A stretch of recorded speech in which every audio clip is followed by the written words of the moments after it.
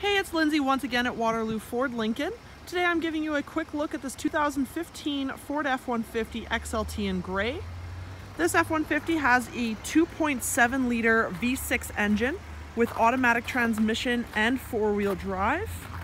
You have chrome on the grill and bumper of this truck as well as some tow hooks. Uh, we have alloy wheels on here. It is a Super Crew, so you have that massive back seat with the privacy tint.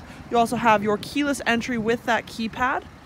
Coming around to the back end here, you have that chrome once again on the back bumper. You have that uh, five and a half foot box and the box is lined as well.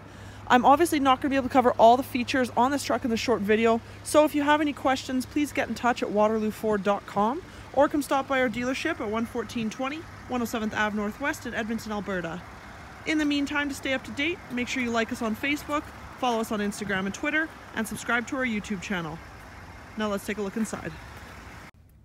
So sitting inside the XLT here, going to do a quick run through of the interior as well as some of the features. Starting on your door panel, you have your door latch, your power windows, your power mirrors, and your power locks. On the steering wheel, your arrows on the left-hand side will take you through your information panel. As you can see, this truck has about 60,000 kilometers on it, so there's still warranty left on it, um, as well as lots of life.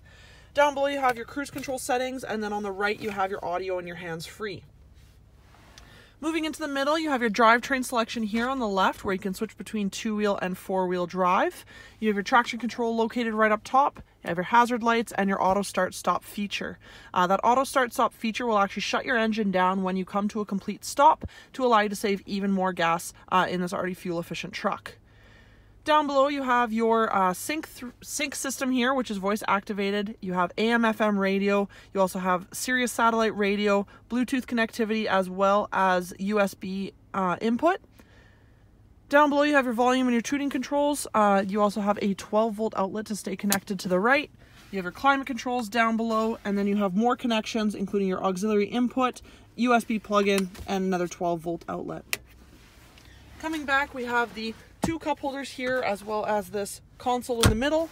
Uh, it does flip up into the sixth seat inside of this truck so you can seat a total of six passengers. We also have cup holders on the floor and this console that opens up here.